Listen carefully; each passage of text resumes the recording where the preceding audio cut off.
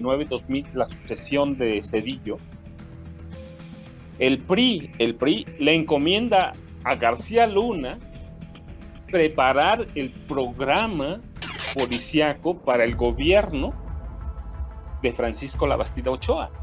Hay testimonios de los agentes que, que, que, iban a espiar a Marta Sagún, a Vicente Fox Quesada, sabían, sabían a qué hora a qué hora se iba a acostar Vicente Fox, sabían que, que Martita Sagún en esa época, Sagún Jiménez, eh, eh, era de aquellas cofradías de, del esoterismo, la espiritualidad, este, los conocían bien.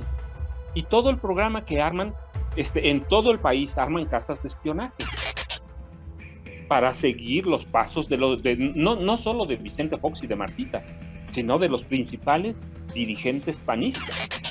Tuvieron un problema en el PRI, que perdieron las elecciones.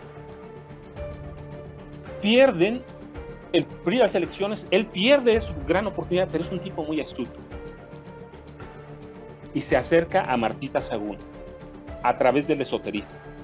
Él mismo, que es un iniciado en la Santa Muerte, conoce todas las debilidades ah, esotéricas de Margarita.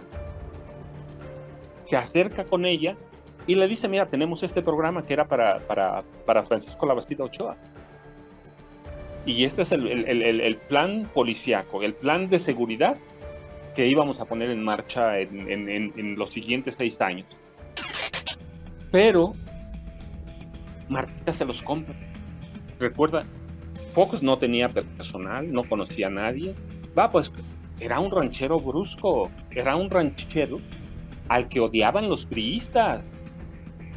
Todos los priistas lo, lo odiaban no, no, no, no, no era de, de, que llegó un gran político del PAN que nos va a gobernar ahora. No, era un ranchero del que todos se burlaban. Pero García Luna tiene un gran sentido de oportunidad y eso no hay que quitarse.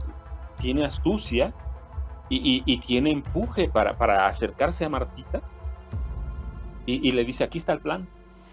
Martita se encarga de, conocer, de, convencer a Vicente Fox y que ellos le, arman, eh, eh, le, dejan a García Luna que arme todo el programa de seguridad, ellos se olvidan. Solo hay una condición de Martita para Genaro García Luna, que no toque nadie a sus hijos.